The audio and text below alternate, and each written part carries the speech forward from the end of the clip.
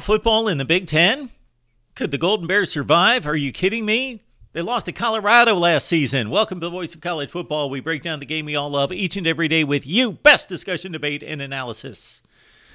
We are running a series where we are taking various schools that are projected, rumored to be possibly in a conversation to move to another conference in realignment and matching them up against that conference. And of course, to project what could happen going forward, we've got to look at what has happened in the past. Cal's got a bad football program right now, bad football team in 2022 do not look to be much better under Justin Wilcox this season. He's had a pretty marginal, to be kind, to be kind, Justin, marginal stay at Cal. What has Cal done against the Big Ten historically in recent times? Let's look at the Golden Bears in 15 outings against the Big Ten since the year 2000, and it might surprise you. Golden Bears against Illinois. Last time that the Cal football program hit the field against the Big Ten was in the Redbox Bowl against the Illini and a 35 to 20 win there. A 31 24 win going back nine seasons to 2014 against Northwestern, a 5 and 7 football team. Cal played uh, the Big Ten quite a bit during the 2000s. 15 games. We just looked at Stanford only playing six games against the Big Ten despite those three Rose Bowl appearances for the Cardinal since 2000. Cal lost some games against Ohio State, you see, in 2012 and 2013, despite having a 3 and 9 team against a 12 and 0 Ohio State team. They took the Buckeyes to a one score game in the fourth quarter in Columbus. Games against Maryland, of course, the Terps were not a part of the Big Ten at that point, and uh, Cal won those games against the Terps, also against Michigan State in 2008. A pretty good Spartans team at nine and four.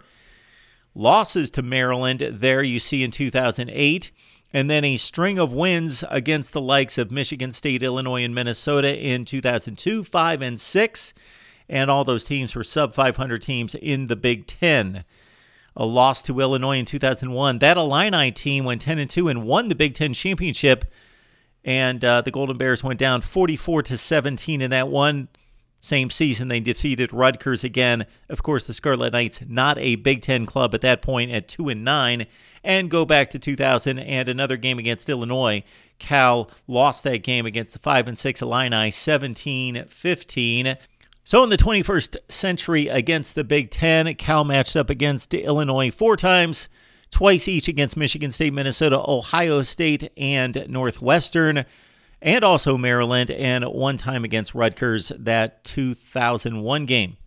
Could Cal possibly have a winning record against the Big Ten since the year 2000? Could they possibly have a winning record going forward against the Big Ten? How about that? Nine and six outscored the Big Ten during these 15 games by 80 points.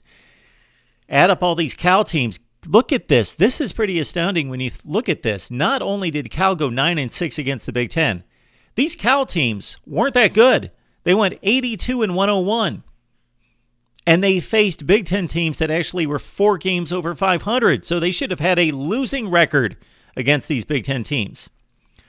Looking at the Cal football program since the year 2000, they've been not even marginal. When you go sub 500 in a Power 5, knowing that you're playing two to three group of five teams in the non conference, you should have a plus 500 record if you are any good.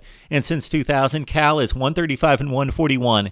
They have an awful record in the Pac 12, 79 and 117. They are 38 games under 500 in the conference, 7 and 4 in bowl games, though. So when, when Cal is decent, they beat some pretty good teams. And if you follow the NFL draft, you know that Cal figures in prominently in the NFL. Three top 25 finishes during this 23 um, year run, only one since 2006, and that was a top 10 finish. You don't think Cal can play with the Big Ten?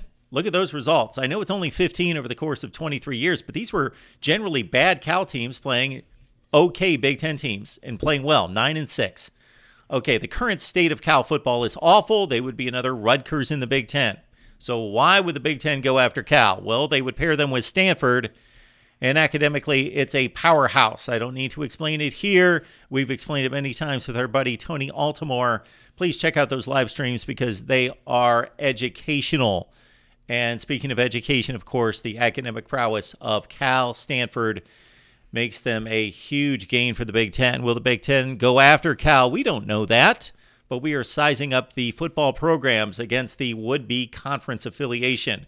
Cal against the Big Ten. Leave your comments below right here at the Voice of College Football. And there is more to come as we look eastward right here at the Voice of College Football.